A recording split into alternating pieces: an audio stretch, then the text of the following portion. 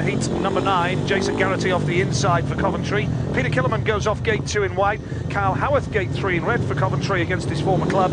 Lewis Rose goes off the outside. Coventry lead by four, and they've got gates one and three here. Can they make it count? You do feel a lot of pressure on the shoulders of Peter Kildemand, this man in the white helmet colour. Very much so, and he needs to make gate two work because he had gate four last time and he got second place out of that, but gate four has been very difficult to do, and Lewis Rose goes from there, so Peter Kildemand under pressure. Here we go then, going into that first turn. Kildemand has got a good start, but so has Garrity, and that has allowed Kyle Howarth through, and Kildemand has been sent right to the back, and, and Coventry have hit some great form all of a sudden. Jason Garrity in blue, Kyle Howarth in red, the two talented young British riders are leading the way ahead of, oh, Kildemand's gone down, Peter Kildemand has gone down, and Coventry are on a 5-1 and Kildemand is not going to clear the track. Kildemand is not going to clear the track.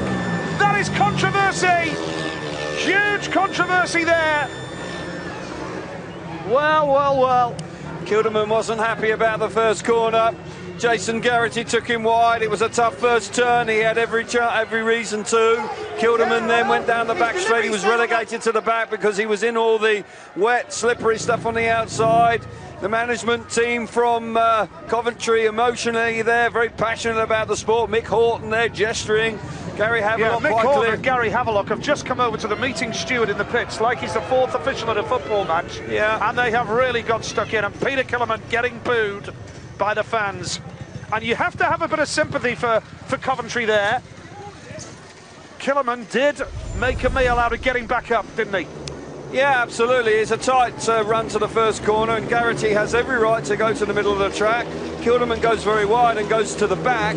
That allows the two British boys to hit the front, and Kildemand seems to just sort of give up, and his motivation evaporates right from the word go, and he just slips off the bike as he comes in to start the um, the second lap. You can see there's no commitment there, and he just slips off the bike. And really, truly, he does get up as well, Kelv. Yeah, he needs to get off the track. He gets up and holds the bike up. He has no reason not to get off the track there, and that's uh, that's a bit naughty from Peter Kildemand. Well, well, well. And at this stage, Kildemand is still on the track. He's not quite cleared it. See there. He yeah. was up. This is where he gets up, and yeah, this is where not, the race is still hurt. going. The bike's still running. There's absolutely no reason for him not to get off the track. So why has he done that now? Why has he stuck the bike well, he wants there? a restart, doesn't he? Well, well, well. He wants a restart. Drama here, controversy as well. Peter Kildemand disqualified from heat number nine.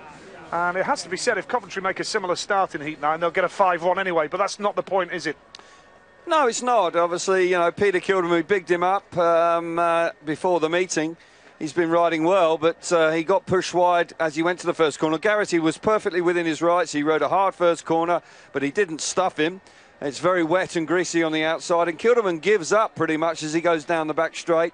When he goes into the first corner for, for the second time, you can see he's not committed, just slips off. Should have just then got off the bike or got the bike to the infield and allowed the race to continue. Doesn't do that and quite clearly upsets everybody. Well, the, the referee cannot award a race that early. Um, if it was later in the race, the referee could have awarded it, but but not that early. He can't do it. It's not in the rules. I'm sure Gary Havelock's got a thing or two to say about it. He's with Chris.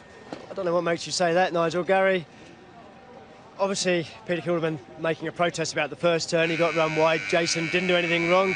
Perfectly able to do that. And uh, he's been excluded. But would you like to see more done about it? Yeah, I would, to be honest. Yeah, I would like to have seen him excluded for the rest of the meeting. You know, it was quite obvious what he was doing. The bike was still running. I didn't even know that until I just watched the, um, the replay. But, um, you know, I've already been told I can't talk to the referee anymore because he doesn't like what I'm saying. But, you know, they're